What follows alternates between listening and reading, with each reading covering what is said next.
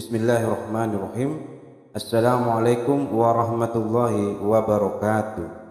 Alhamdulillahilladzi arsala rasulahu bil huda wa dinil haq liyuzhirahu 'ala ad-din kullihi wa kafa billahi syahida. Ashhadu an la ilaha illallah wahdahu la syarika lah wa ashhadu anna Muhammadan abduhu wa rasuluh la nabiyya ba'da. Allahumma salli ala Muhammad wa ala ali Muhammad amma ba'du. Para sahabat pencinta amal soleh yang dimuliakan Allah Subhanahu wa Ta'ala, pada umumnya di malam hari raya kita melihat masyarakat merayakannya dengan hati yang senang, dengan berkumpul-kumpul bersama, menghidupkan lampu indah atau kembang api. Namun jarang terbesit dalam benak kita bahwa malam hari raya disunahkan untuk dihidupkan dengan memperbanyak ibadah Sebenarnya malam hari raya termasuk malam yang memiliki banyak kelebihan. Termasuk malam yang afdol di mana siapa pun yang menghidupkan malam hari raya Allah Subhanahu wa taala akan menghidupkan hati mereka di mana banyak hati yang telah mati. Artinya di mana manusia mencintai dunia dan enggan melakukan amalan akhirat karena mati hatinya. Allah akan menghidupkan hati orang-orang yang menghidupkan malam hari raya. Allah akan memberikan kemudahan dalam beribadah, beramal akhirat bagi mereka-mereka yang menghidupkan malam hari raya. Hal ini sebagaimana yang disabdakan oleh Rasulullah sallallahu alaihi wasallam. Barang siapa menghidupkan malam hari raya, maka Allah akan menghidupkan hatinya pada hari di mana banyak hati yang telah mati. Selain itu, malam hari raya termasuk juga salah satu malam yang diterima doanya oleh Allah Subhanahu wa taala.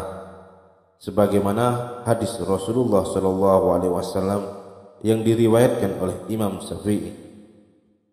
Telah sampai riwayat kepada kami bahwa dikatakan doa dikabulkan pada lima malam yaitu pada malam Jumat malam hari raya Adha malam hari raya Fitri awal malam bulan Rajab dan malam nisfu Sa'ban. Hadis tersebut sudah sangat jelas bahwa malam hari raya termasuk malam yang lebih. Maka sudah semestinya kita mempergunakan waktu tersebut untuk beribadah kepada Allah dan berdoa. Karena pada malam tersebut adalah malam yang mustajabah untuk berdoa Mari kita menghidupkan malam hari raya. Jangan salah mengartikan malam hari raya. Sebagaimana sebagian orang salah mengartikan malam hari raya sehingga anjuran Rasulullah Shallallahu alaihi wasallam untuk beribadah dan berdoa pada malam hari tersebut ditinggalkan kosong dari amalan. Padahal malam hari raya adalah malam yang penuh berkah dan penuh makna.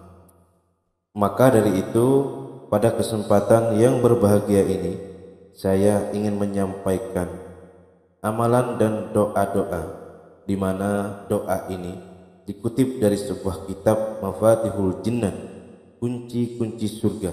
Salah satu kitab kumpulan amalan dan doa-doa dari Rasulullah Shallallahu alaihi wasallam dan ahlul baitnya. Yang pertama, melakukan mandi sunnah ketika matahari terbenam. Yang kedua, menghidupkan malam hari raya dengan sholat sunnah, doa, dan istighfar. Yang ketiga, membaca doa berikut ini sesudah sholat maghrib dan sholat sunnah nafilah maghrib. Berikut bunyi doanya.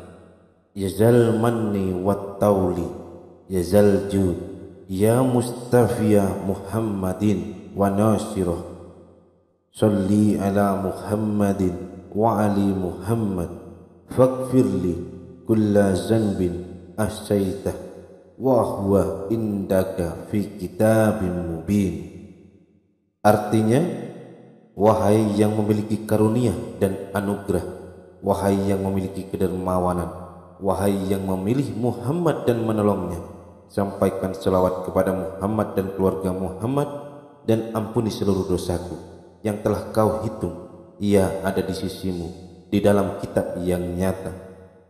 Kemudian setelah itu lakukan sujud sambil membaca atubuh ilallah atubuh ilallah atubuh ilallah sebanyak seratus kali. Dan dilanjutkan dengan memohon kepada Allah hajat yang diinginkan. Insya Allah akan diijabah oleh Allah subhanahu wa ta'ala. Itulah bacaan doa yang bisa kita baca di waktu malam hari raya semoga apa yang menjadi hajat kita selama ini diijabah oleh Allah subhanahu wa ta'ala amin ya rabbal alamin Demikian apa yang dapat saya sampaikan. Semoga bermanfaat untuk semuanya. Jazakumullah khairan. Wassalamualaikum warahmatullahi wabarakatuh.